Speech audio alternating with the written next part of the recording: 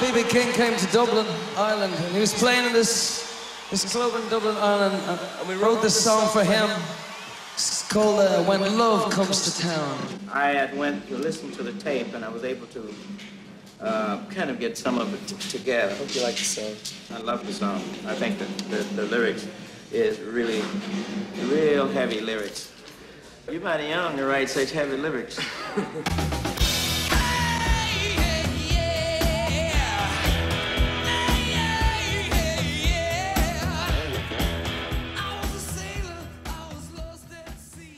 you know, I felt, you know, we were, we were, we were pretty popular at the time, number one records, um, on the cover of Time magazine. Uh, I gave it my absolute, you know, everything I had in that howl um, at the start of the song. And then B.B. King opened up his mouth and I felt like a girl.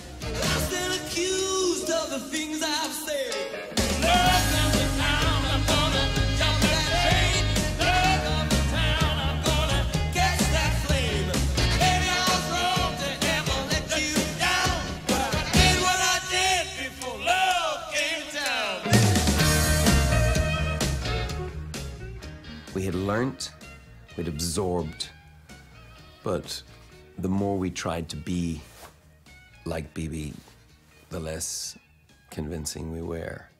I'm no good with chords, so uh, what we do is get somebody else to play chords. And Sure. Well, Adrian will do that. There's not much All right. chords in this song. Yeah. I think there's only two. I'm horrible with chords.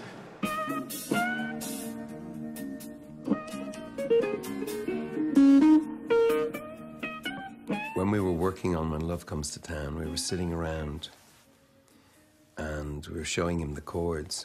and he said, Gentlemen, gentlemen, I don't do chords. I do this. I don't know what to do there. I'm just, I'm just in the. yeah. Is that a joke? There's a lesson in that. He is, as Keith Richards um, describes, um, a specialist. I was a sailor, I was lost in the sea. I was under the waves before love rescued me. I was a fighter, I could turn on fair.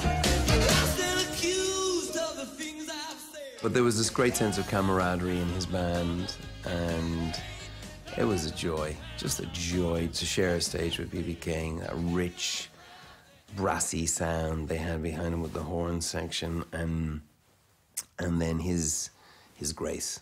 You know, he's he's a lesson in grace. But I did what I did before love